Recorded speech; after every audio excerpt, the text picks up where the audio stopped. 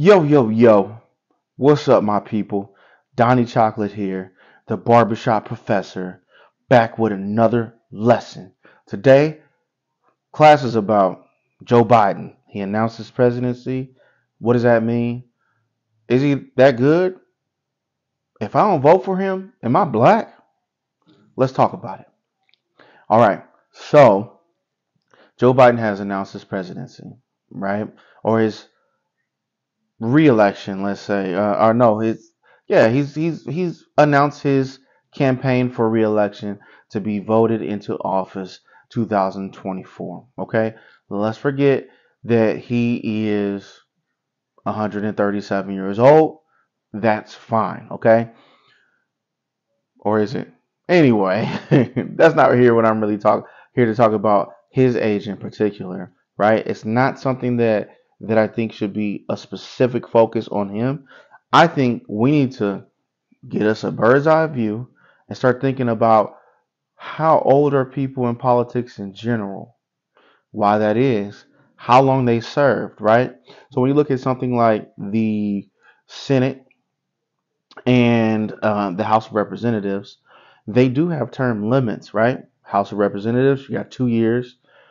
Senate, you have six years but you can run until you die essentially, right?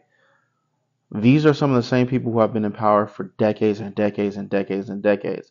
I've said it before and I'll say it again. You know why? Because they're still in office and they still have a stranglehold on what how we move as a country, right? All all kind of laws, all kind of um, um, same-sex marriage policies and different things like that, marijuana, cannabis legalization, right? You want to talk about um, uh, a new green deal uh, or a green society. You want to be more uh, earth conscious and stuff like that. And these things aren't changing. You wonder why, right? Well, the part of it is that the same people with the same ideas from 50 years ago are still in office something that you just gotta take hold of. The other thing about Joe Biden running um, is that we got to recognize the presidency is about a system. It's not about a person. They're pushing Joe Biden, and I guess this is my theory, right? The status quo is pushing Joe Biden because Joe Biden is a person that can help them maintain power.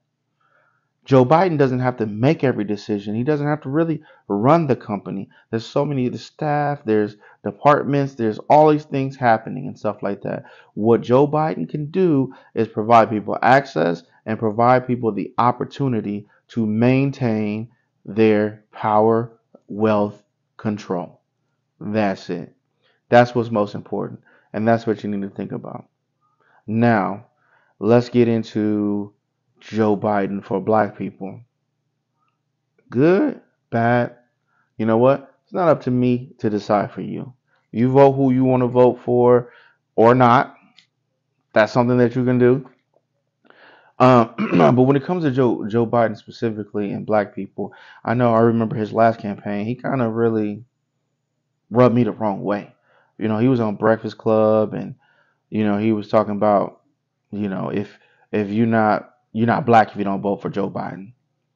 And it made me start to like back up like, whoa, whoa, whoa, whoa, whoa. First off, sorry, white man, you ain't gonna really challenge my blackness like that.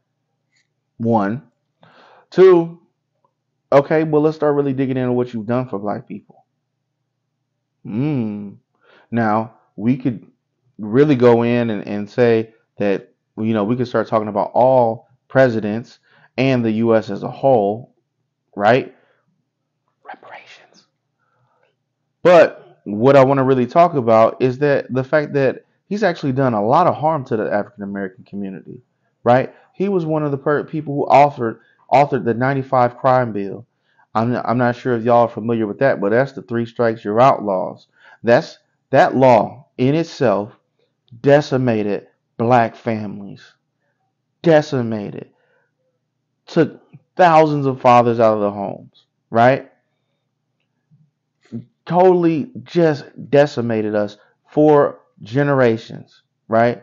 And had a generational impact, right? Men women alike, all in prison, right? It's really important that you think about that. This is also the same person who eulogized a segregationist. Hmm. Okay, so this is the same person telling me that if I don't vote for him, I'm not black. I don't know what that was all about. But to be honest with you, I feel like there's a lot of policies that Joe Biden has been a part of that have hurt the black community way more than the policies he's done to help it. That's me personally. Again, that's not to say that he's better than anybody else or worse than anybody else. That's me speaking about Joe Biden, right? And his impacts to the black community. All right. So that's something that you really want to think about um, when it comes to his candidacy. tell y'all right now, vote third party. I don't know. Figure it out for yourself. What do you feel? Maybe it is better for, maybe you feel it's better to vote for him because of the power. He's the lesser of two evils. Maybe so. Maybe you don't want to vote for him. Maybe you want to withhold your vote because you don't feel like candidates are actually really speaking to your policies and taking action once they get elected. That's something too. It's not on me to tell you to vote. Um, and I guess we could talk about voting probably here later, especially in the black community and African American community. Um, we can talk about the voting and voting legacy. At the same time, I want you to be informed. I want you to have some discernment. I want you to actually look into like the real facts. Let's not look into these commercials that look good. Let's not look into these pictures that we see, these slogans. Let's not think about who endorses them all the time, right? Sometimes that can help, right? But just because Bernie endorsed him, don't mean he's still not. Just because Bernie endorsed Biden, doesn't mean that he, that Joe Biden is not the same Joe Biden, right? We got to step away from our the the I'll say the the mass media influences, what you see on the news, the smiles, the kissing the babies, all those things. Start voting policy and start doing your best to vote for people who are actually going to act on that policy desires on your or or on any policy desires, right? After they get elected, right? Look at who is in the pockets of these people. Look at who's paying who's who is paying Joe Biden? Who's funding his campaign? Right? All of these things are important. Who's funding the Democratic Democratic National uh, Committee? Right? Um, who? Let's start looking at these things. These are things that we need to just figure out, and and these are things that you should be informed by when it comes to who you vote for and all else, if anything else, please realize this Joe Biden is not your savior. He's not. But you know what? I can tell you no president, I don't care what skin color they are or what they look like, are not going to be your saviors. Okay? Um, we got to do our best to build our communities, do for self, and keep making an impact on who you can impact. Is most important. Anyway, hope you got something from this. This is Donny Chocolate here, coming live back at you. The Barbershop Professor. Class is closed.